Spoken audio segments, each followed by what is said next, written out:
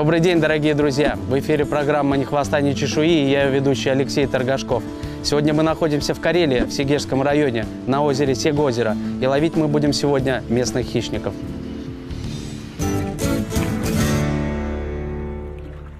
Сега-озеро располагается в Карелии, в Сегежском районе и относится к бассейну Белого моря.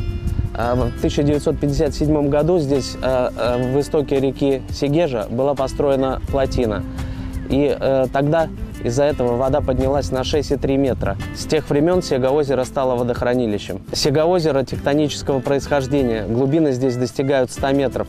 В некоторых местах прямо у берега э, скала обрушивается на глубину 20 метров.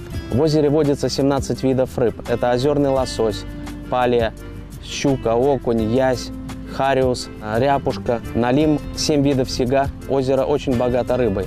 Последнее время на Сега-озере стало много радужной форели.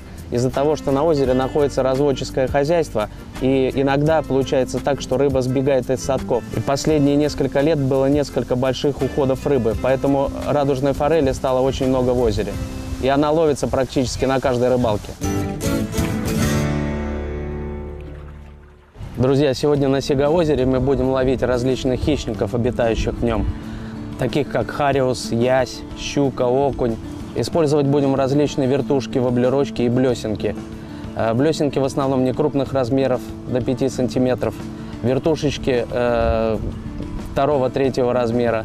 И также не крупные воблерочки. Потому что рыбы, которые мы будем ловить, такие рыбы, как хариус и ясь, они предпочитают мелкий корм, то есть малечков. Поэтому приманки должны быть не крупных размеров. Приманки желательно выбирать э, ярких цветов. Ну, как обычно, в принципе, на любой рыбалке. Рыба любит яркие цвета, рыбу нужно удивить. Э, Поэтому красные цвета, люминесцентно-зеленые, голубенькие цвета. В общем, все то, что привлекает рыбу. Сегодня использовать я буду э, спиннинг с тестом 10-30 грамм и длиной 2,50 метра. Этот спиннинг я буду использовать для ловли щуки. А также еще один спиннинг тестом 5,20 и длиной 2,40. Этот спиннинг я буду использовать для ловли хариуса, изя и окуня. А также буду использовать э, шнур Safix P Glide Master 0,16. Этого будет достаточно при вываживании даже самой крупной щуки.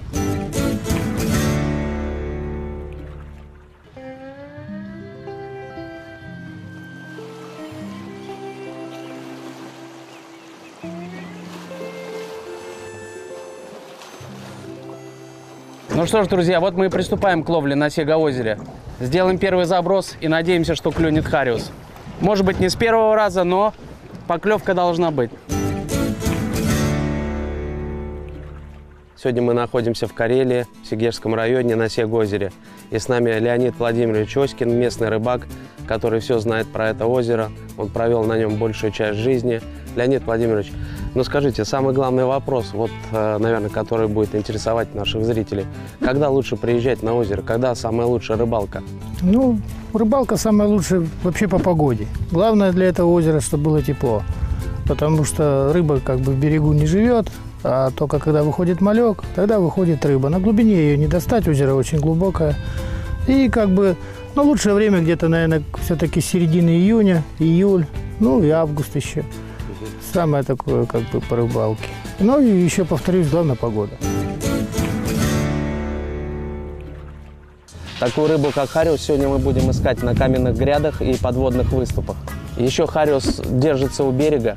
Э, Вдоль береговой линии находится лес, и с леса падают возможные мушки, букашки, таракашки. Он их собирает с поверхности воды. Также к берегу подходит малек. Почему? Потому что вода у берега немножко теплее, и малек хочет погреться. Поэтому хариус всегда находится в береговой линии.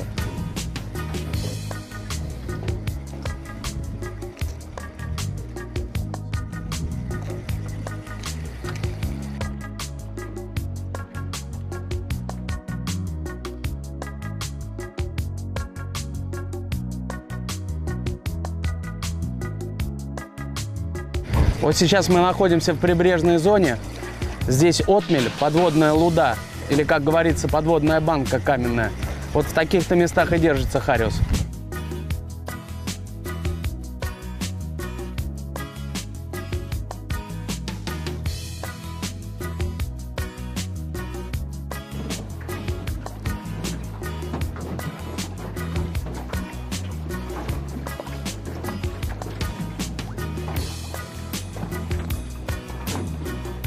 Я использую приманку Blue Fox с зеленым сердечником и черным лепестком. На лепестке также есть точечки зелененькие. Надеюсь, что такая приманка понравится местному Хариусу.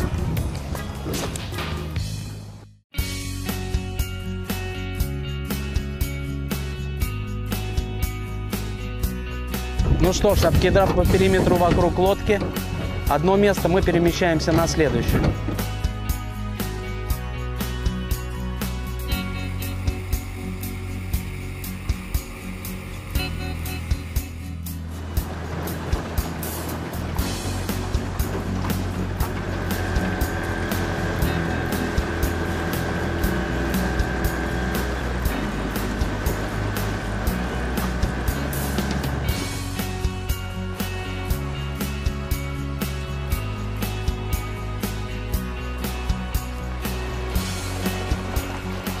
Ну вот и первая рыба, это окунь. Мы его взяли со дна, с глубины 10 метров, так как в берегу рыбы пока нету.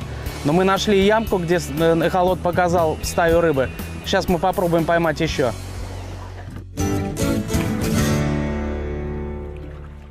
Вода в Сегоозере очень чистая. Кстати, в переводе с карельского Сегоозеро переводится как «светлое». Поэтому рыба а, здесь очень осторожная, так как она видит лодку издалека, поэтому забрасывать нужно как можно дальше и пытаться поймать рыбу с дальних дистанций.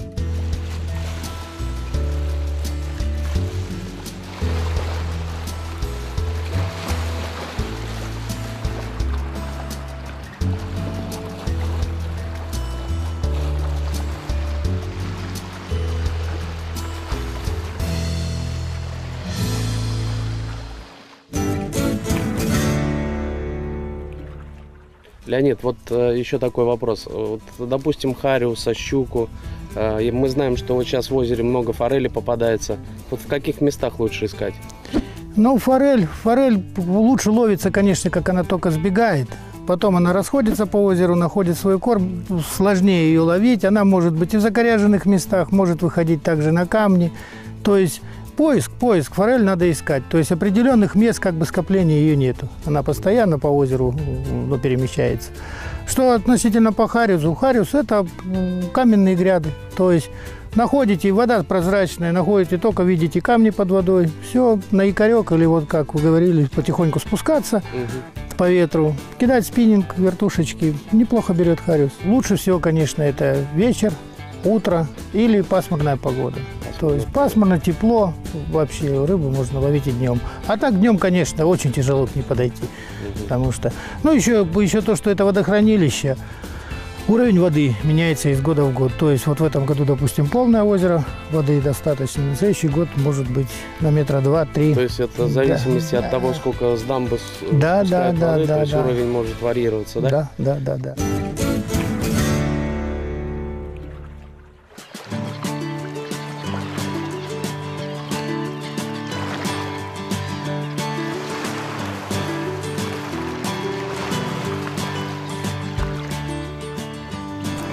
Вот поймали щучку небольшую на джик. А пузатая это какая? Толстопузенькая. Смотрите, какая красивая. Сейчас я ловил на джек. Здесь глубина 10 метров, обрывистый берег сразу уходит в глубину. Мы видели рыбу на эхолоте и попробовали ее поднять со дна. Рыба была прижата к дну. Берега Сига озера э, затоплены и множество коряжника, затопленный лес и э, Щука любит э, держаться в таких местах, потому что там есть где спрятаться, подсторожить свою добычу, совершить молниеносный бросок неожиданно для своей жертвы. Именно в таких местах мы и будем сегодня искать щуку. Сейчас мы находимся на подводной банке. Мы нашли эту банку по эхолоту. Огромная скала поднимается вверх к поверхности воды 14 метров до 2,5 метров. Это очень интересное место, стоит здесь покидать.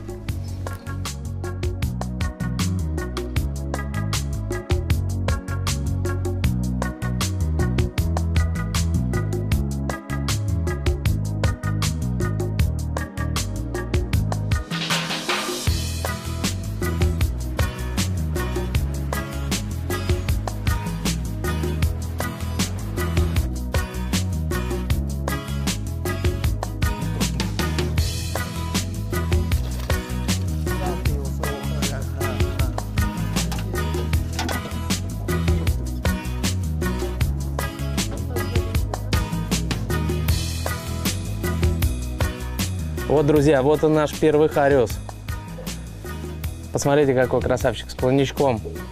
Еще, конечно, не совсем крупный, но это уже рыба. Самая вкусная рыба. А какую рыбу вот э, в течение всего года вот так вот лучше ловить? Ну, неплохо ловится и щука. Зимой налим ловится неплохо. Ну что, хариус летом. Ну, весной он даже, даже из-под льда можно его найти, порыбачить.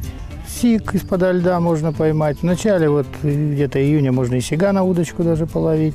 Конечно, сложная рыба, но можно это все. Ну, а в июле месяце, уже в июле, как выходит ряпушка, то есть выходит и лосось. Можно половить и лосося. То есть рыбалка интересная, рыбы очень много всякой. Окунь, толстячок.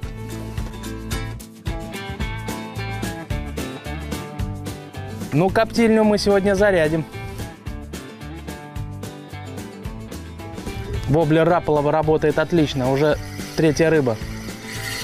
Вот еще одна рыба.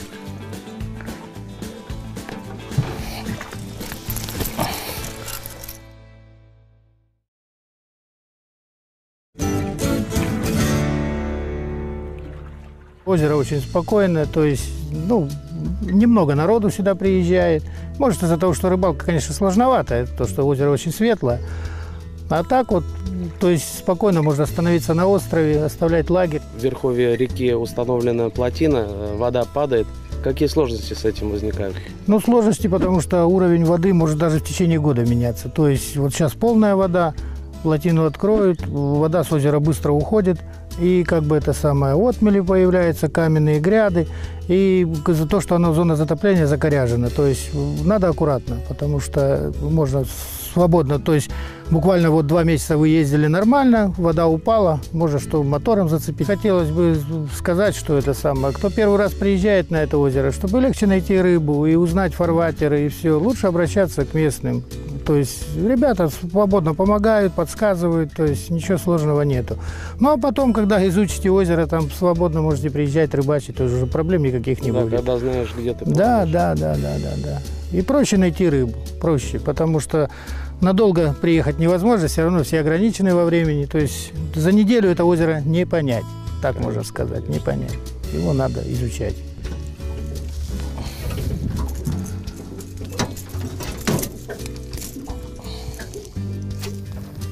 Хариус в Сегоозере достигает приличных размеров. Рыба полтора-два килограмма, не редкость.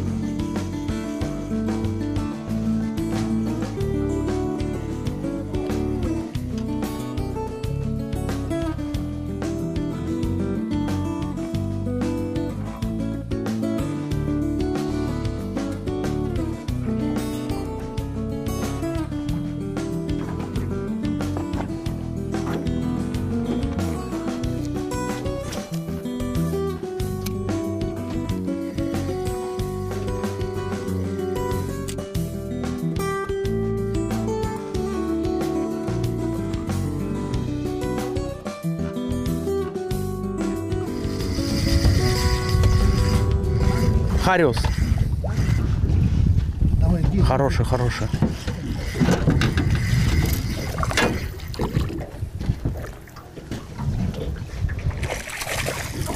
Вот это красавчик! Yes, Хариус!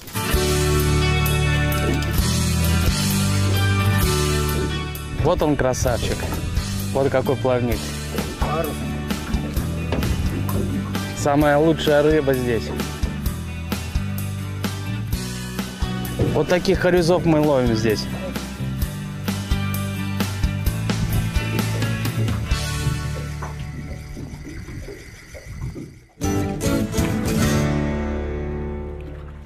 В июне светлые ночи, можно даже ночью. И ночью берет. Ну, в основном, конечно, предпочитает вот крупная щука, хорошая это живца все-таки. Но если приманку подбираете хорошую, то не отказывается и воблер, и, и вертушки хорошо, колебалки неплохо работают. Я думаю, это еще один хариус. Ой, хороший. Ой, хороший. Я возьму, возьму. Да. Давай помогу. Не-не, тихо, тихо, тихо. Я сам.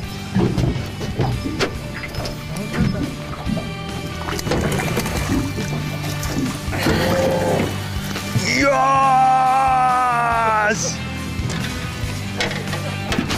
Ясь! Вот так эмоции.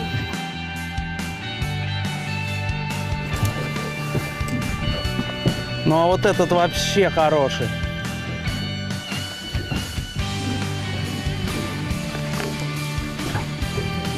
Вот он, вот. Ух, ух, ух.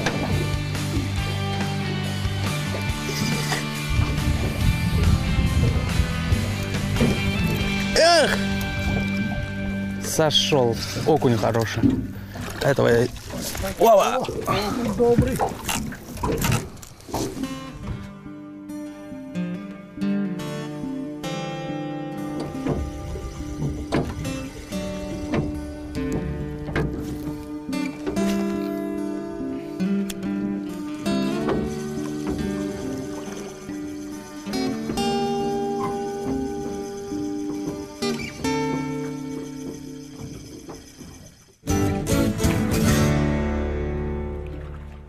Из озера вытекает единственная река Сигежа. Остальные все речки только впадают в него. Если у вас нету с собой катера, не переживайте. Вы всегда можете прийти на берег э, реки и половить всю ту же рыбу, что и водится в озере.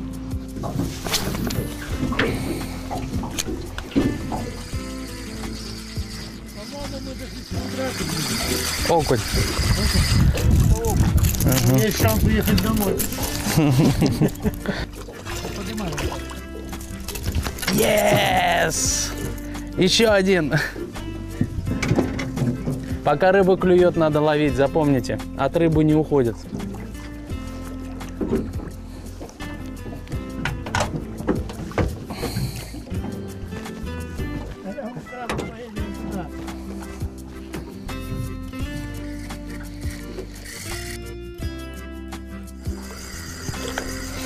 Все, я сломался. Моей рыбы здесь нет.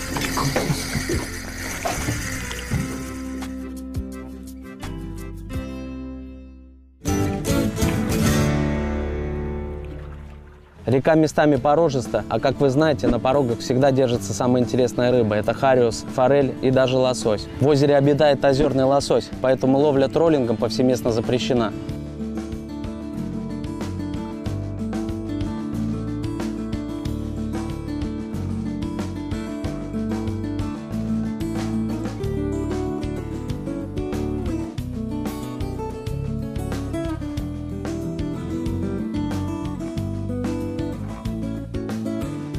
Что ж, дорогие друзья, мало просто поймать рыбу, надо ее еще и вкусно приготовить.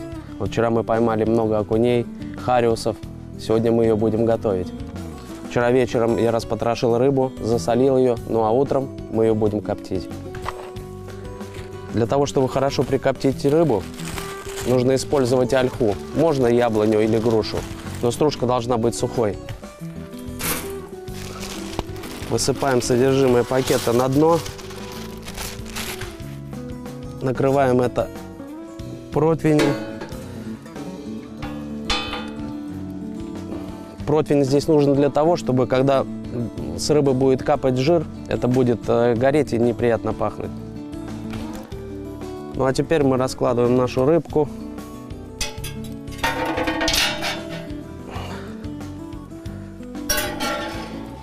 Как можно плотнее, рыбки у нас много, поэтому нам надо ее разложить так, чтобы все поместилось.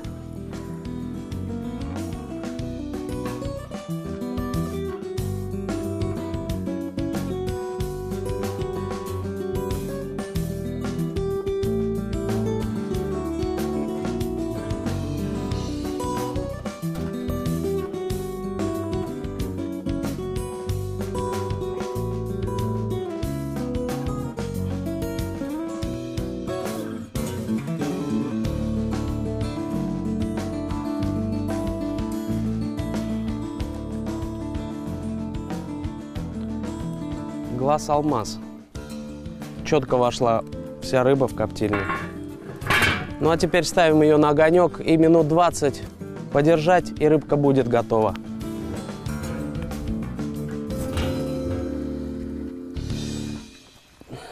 Ну что ж, а теперь мы займемся хариусом. Вчера вечером я его почистил от чешуи, вынул кишки, засолил. Ну а сегодня утром мы просто его положим в банку, присыпем горошком, э, перцем горошком и зальем маслом.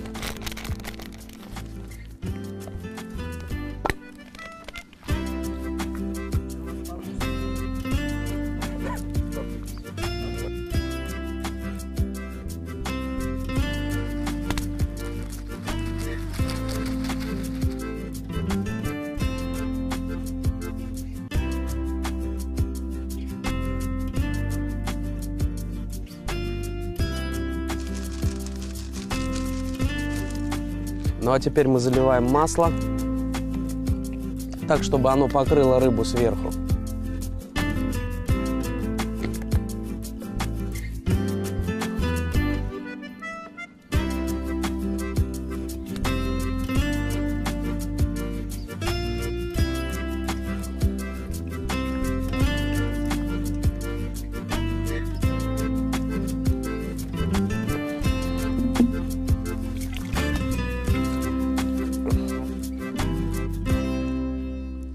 Теперь закрываем банку крышкой. И вот такой хариус можно хранить в холодильнике практически целый год. Но, как правило, этого не случается. Такая рыбка расходится очень быстро. Кстати говоря, э, вот сюда можно добавить еще укропчика, но ни в коем случае лука нельзя ложить, потому что лук долго не хранится, и он испортит вкус рыбы. Лук можно просто нарезать свеженький и уже э, вместе с харисом употреблять в пищу. Ну а теперь мы откроем нашу коптильню и посмотрим, как там наша рыба. Ну вот рыбка уже готова. Чуть-чуть оставим ее обсохнуть и будем ее кушать.